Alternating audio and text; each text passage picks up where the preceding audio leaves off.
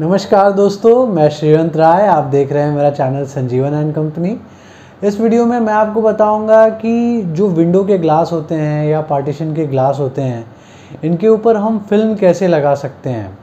अब कई जगह पर रिक्वायरमेंट होती है, कहीं पर डिज़ाइन की कोई फ़िल्म लगानी होती है, कहीं पर सोलार कंट्रोल की फ़िल्म लगानी होती है, कहीं ब्लाइंड करने की फ़िल्म लगानी होती है, कहीं फ्रॉस्टेड की फ़िल्म लगानी होती है। तो अलग अलग पर्पज़ के लिए लोग जो है वो ग्लास के ऊपर फ़िल्म लगवाते हैं। और दूसरा बेनिफिट उसमें ये भी होता है कि अगर हम ग्लास के ऊपर कोई प्रोसेस करके उसे आ, फ़िल्म जैसा एक लुक देना चाहें तो वो काफ़ी कॉस्टली प्रोसेस होता है और फ़िल्म जो है वो काफ़ी सस्ते में लग जाती है। तो इस वीडियो में हम देखेंगे कि ग्लास के ऊपर फ़िल्म कैसे लगाते हैं। इस वीडियो में मेरी एक विंडो बनी हुई थी केसमेंट विंडो और उसमें मैंने क्लियर ग्लास यूज़ किया था, जैसे कि क्लाइंट की रिक्वायरमेंट थी। बट क्लाइंट की जो रिक्वायरमेंट है, वो बाद में चेंज हो गई और उन्हें फ्रॉस्टेड ग्लास की ज़रूरत थी। तो विंडो जो है, वो तैयार हो गई थी और सब कुछ जो है, वो इंस्टॉलेशन के लिए रेडी था। तो इसलिए हम ग्लास को रिप्लेस नहीं कर सकते थे। तो इस केस में हमने क्लियर ग्लास के ऊपर फ्रॉस्टेड फ़िल्म लगा दी। तो ये जो पूरा प्रोसेस है, वो मैं आपको अच्छे से समझाऊँगा और ये वीडियो आप जब पूरी देखेंगे तो आपको पता चल जाएगा कि ग्लास के ऊपर हम फ़िल्म कैसे लगाते हैं। तो वीडियो अगर पसंद आया तो वीडियो को लाइक ज़रूर करिएगा और चैनल को सब्सक्राइब करिएगा। तो चलिए शुरू करते हैं। ग्लास पे फ़िल्म लगाने के लिए पहले हमें ग्लास को अच्छी तरह से साफ़ करना होगा। तो अच्छी तरह से साफ़ करने के लिए हम सोप वाटर का यूज़ करेंगे यानी कि साबुन के पानी का हम इस्तेमाल करेंगे। तो पहले उसे स्प्रे करके हम ग्लास को अच्छी तरह से क्लीन कर लेंगे। छोटा सा हैंड मॉप हम रबड़ का जो है वो लेकर हम ग्लास पे जो भी छोटी डस्ट होगी उसे क्लीन कर लेंगे।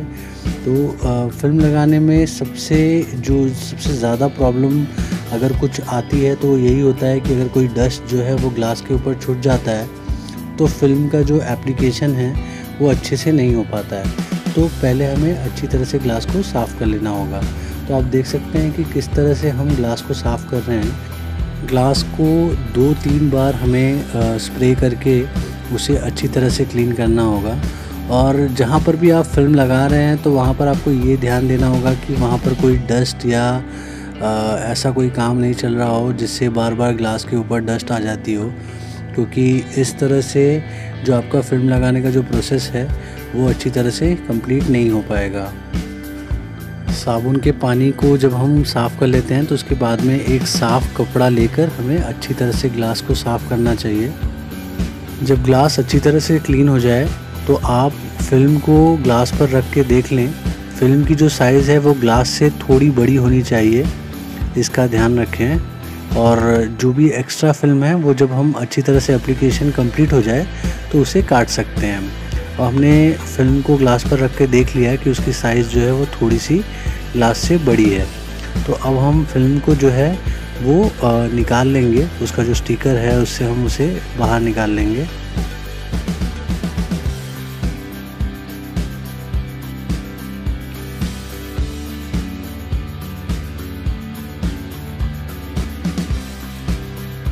जब हम फ़िल्म का प्रोटेक्टिव स्टिकर निकालते हैं तो हमें ध्यान देना चाहिए कि फ़िल्म के ऊपर डायरेक्ट हमारा जो हाथ है वो ना लगे और फ़िल्म के ऊपर कोई डस्ट ना उड़े।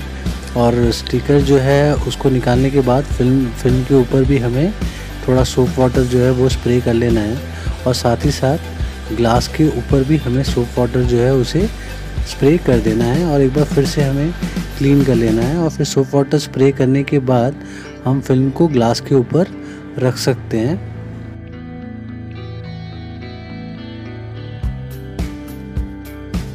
फ़िल्म को ग्लास पे रखने के बाद हम फ़िल्म के ऊपर फिर से स्प्रे कर लेंगे सोप वाटर और जो पानी ग्लास के और फ़िल्म के बीच में फंसा हुआ है, उसे भी हम अच्छी तरह से बाहर निकाल देंगे। पानी को हम हैंड मॉप से चारों तरफ़ से हम साइड में करके उसे बाहर निकाल देंगे। आप देख सकते हैं कि कैसे हम उस प्रोसेस को कर रहे हैं तो आपको ध्यान देना होगा कि आप इसी तरह से थोड़े सॉफ्ट हैंड से आप पानी को एक तरफ़ पुश कीजिए। जैसे आ, हम चारों तरफ़ पानी को हमने पुश कर दिया है और फिर उसके बाद में जो एक एक्सेस शीट है उसको रफली आप काट लीजिए चारों तरफ़ से।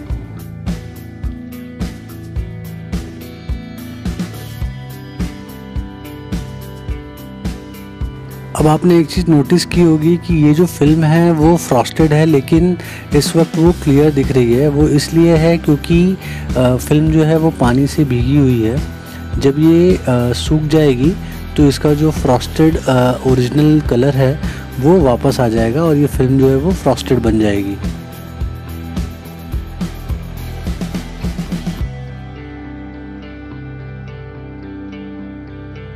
अब आप देख सकते हैं कि एक तरफ़ का जो पानी है वो काफ़ी बाहर निकल चुका है तो उस साइड पर हम फ़िल्म को और थोड़ा परफेक्ट साइज़ में काट देंगे कि जो अंदर बचा हुआ पानी है, वो अगर हम एक और बार मॉप करें उसे तो वो पूरी तरह से बाहर आ जाए।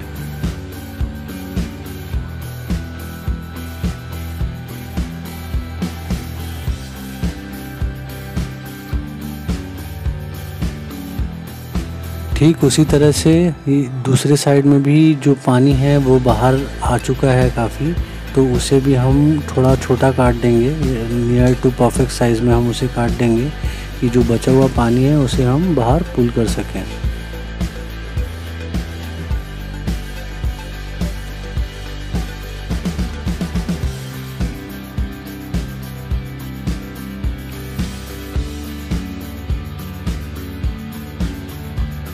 एक्सेस फ़िल्म कटने के बाद इस तरह से हम जो बचा हुआ पानी भी है, उसे भी बाहर पुल कर लेंगे।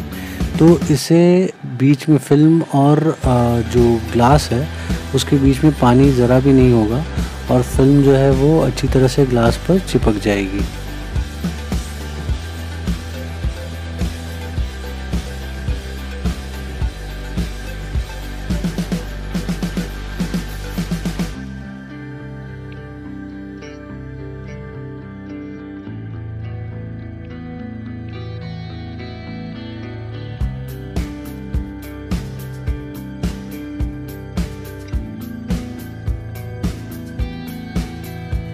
इसी तरह से चारों तरफ़ की जो एक्सेस फ़िल्म है, उसे हम निकाल कर जितना भी एक्सेस पानी बचा हुआ है फ़िल्म और ग्लास के बीच में, उसे बाहर निकाल देंगे।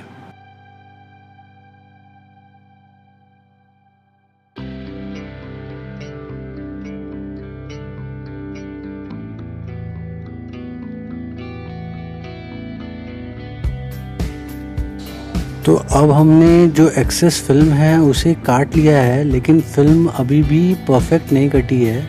अभी भी जो थोड़ा हिस्सा फ़िल्म का है लास्ट हिस्सा लास्ट पार्ट वो बाकी है।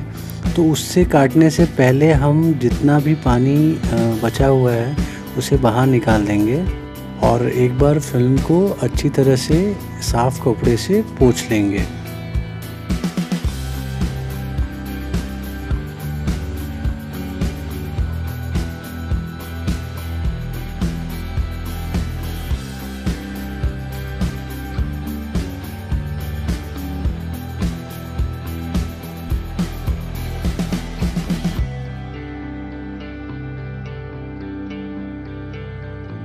अगर थोड़ा भी डस्ट अगर रह गया है कॉर्नर पर तो आप फ़िल्म को थोड़ा सा ऊपर उठाकर उस डस्ट को बाहर निकाल सकते हैं और फ़िल्म को वापस उसकी जगह पर लगा सकते हैं। लेकिन ये तब आप कर सकते हैं जब तक फ़िल्म जो है वो परफेक्ट साइज़ में नहीं कटी हुई है। अब फ़िल्म को परफेक्ट साइज़ में काटने के लिए जो कि फ़िल्म एप्लीकेशन का फाइनल पार्ट है आप कोई भी सीधी चीज़ का इस्तेमाल कर सकते हैं। हमने यहाँ पर एक सीधे सेक्शन का इस्तेमाल किया है, एल्यूमिनियम सेक्शन का। तो उसे हम सीधा रख कर जो फ़िल्म है, उसको हम कॉर्नर से, ब्लेड से काट लेंगे तो फ़िल्म जो है वो परफेक्ट साइज़ में कट जाएगी।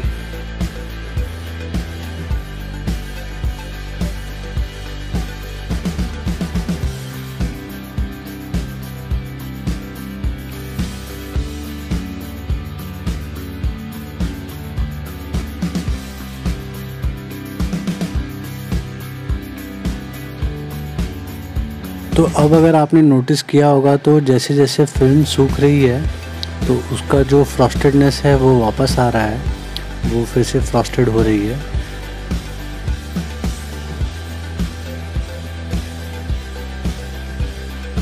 अब ये फाइनल कटिंग के बाद हमारा जो फ़िल्म एप्लीकेशन है वो कंप्लीट होता है। अब हम ग्लास पे जो हमारी फ़िल्म है वो अच्छी तरह से लग गई है। अब आप देख सकते हैं कि जो ग्लास ट्रांसपेरेंट था, वो कितनी अच्छी तरह से फ्रॉस्टेड हो गया है।